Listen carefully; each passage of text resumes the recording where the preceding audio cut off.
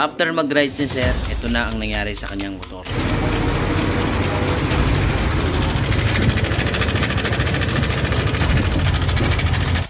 Yo, what's up mga boss? Welcome back sa window shop. At check natin kung anong naging problema ng motor ni sir. Okay? The moment of truth.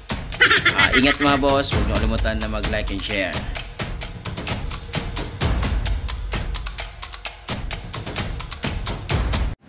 Yo, what's up mga boss? Meron tayong bisita na Aerox. So, ang problema nito mga boss, nag-ride sila. Then, pagbalik nila sa Manila, eto na mga boss ang ingay sa motor. Helicopter! So, Helicopter! dito mga boss, syempre, in-interview natin yung customer kung ano yung dating ginawa at ano pa yung mga previous na ginawa. Syempre, chinek natin yung coolant kung natuyuan ba siya ng coolant. So far, hindi naman natuyuan ng coolant. So, chinek namin, diniagnose muna namin. Ang lumabas sa diagnose, code 37. So, bukod doon, tiningnan namin yung TPS, tiningnan namin yung ISC, kung walang problema o kung merong problema. So, diniagnose muna namin. Yun ang first step dito sa shop, syempre. So, chinek namin mga boss, ang parameter niya, okay naman mga boss, goods naman, walang problema. At syempre, bago natin simulan mga boss, meron tayong assessment form sa motor niya. At dito na nga mga boss, sinimulan na baka si ni Norman. So yan, marami tayong customer mga boss, full maintenance. Ito, Aerox, full maintenance din. Ito, M3, yan, Beat FI, full maintenance din mga boss. Kaya huwag nyo kalimutan na magpa-maintenance para hindi lumala ang problema nyo. Siyempre, huwag nyo kalimutan mag-like and share. Comment yung wish nyo dyan sa window shop. At baka isa na kayo sa bibigyan ng wish ng window shop. Walk-in mga boss, pwedeng walk-in sa window shop. Dito sa punto na to mga boss, marami nang umiikot sa mga utak namin kung ano ang problema ng motor ni Sir. Either black, sigunyal, connecting rod, bearing, cams. So madami mga boss. So So dito mga boss, chinek na rin ni Norman kung may alog ba talaga ang sigunyal niya. Tapos chinek niya yung timing. So good, naka-timing, wala namang alog yung sigunyal niya. So dito mga boss, yan na nga, nahati na. So dito na malalaman kung ano ba talaga ang problema ng motor ni Sir. So dito mga boss, pinanggigila na nga ni Mel at ni Norman kasi nga glock na yung dowel. Kinalawang na mga boss. Yan o, gigil na gigil sila dalawa. Kasi nyo na yan para malaman na natin yung totoo.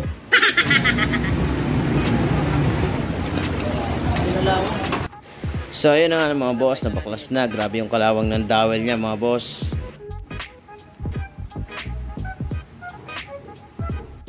So dito mga boss, nabaklas na nga yung head. Titingnan natin kung talaga bang yung cam bearing ang may problema o yung cams ng Aerox 155. So eto na mga boss, babaklasin na yung black. Yan, malalaman na natin kung ano ang totoong problema ng motor ni Sir. Alright, ayan na. Titingnan na natin. So eto na nga mga boss, yan may konting kayod yung black niya. Okay, may konting kayod pero yung ingay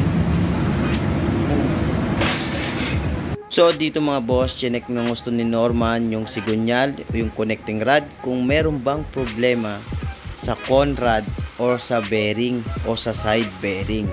So yan, yan kinakapan niya ng gusto kasi mahirap magbiyak then kung wala namang problema, sayang gastos si sir. So eto na nga mga boss yung piston ni sir yan. Kung mapapansin yung oil ring sa baba, nag-lock na yun mga boss. At syempre, nakimarites na rin tayo, nangyayalam tayo. Tinignan natin kung may alog ba talaga. At meron siyang konti. So ayun mga boss, bilog na rin yung drain bolts ng oil ni sir. Kaya yan, ganito mag-change oil dapat. Yan o, ginamit na ng baril. Ayun na, ayun na. Grabe naman. So dito mga boss, chinek na rin namin yung oil niya. Syempre kung gano'n na lang kadami ang natira. So yung mga nag-change oil dyan, dapat alam nyo kung gano'n na lang kadami yung nadidrain o ah, tumutulo sa inyong motor para malaman nyo kung talaga bang nag ah, kumakain na ng langis ang inyong motor. So dito chinek namin, bang, 550 na lang mga boss. Ang laki nang nawala. At para makasiguro kami mga boss kung may problema ba talaga yung cams, ayan, binaklasan ni Norman. Yan, sige, panggigilan mo yung head, yan. Bahala ka na dyan, Norman. So, confirm nga mga boss, cam bearing. Ayan, yung cam bearing na yan, ang durog. So, dahil naging busy ako sa labas, ayan na, binubuo na nga ni Norman yung piston at piston rig at naikabit na rin yung black. Ayan na, halos pabuo na mga boss.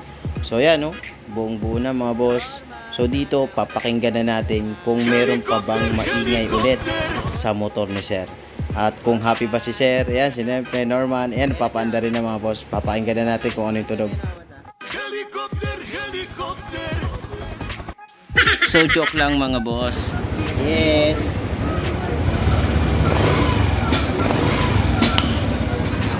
Alright.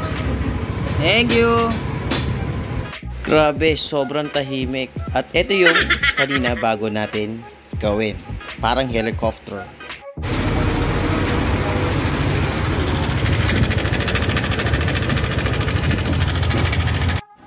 At syempre, salamat po sa tiwala, sir, sa pagbisita sa window shop. Salamat sa pagtiwala na kami ang mag-ayos ng motor mo. Syempre, huwag nyo kalimutan mag-break-in pa din ha.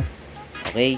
Para hindi masira yung black. At may warranty tayo dyan mga boss sa window shop. Huwag nyo kalimutan mag-like and share. Syempre, baka isa kayo sa mabibigyan natin ng wish granted sa window shop. Right. Salamat po sa tiwala.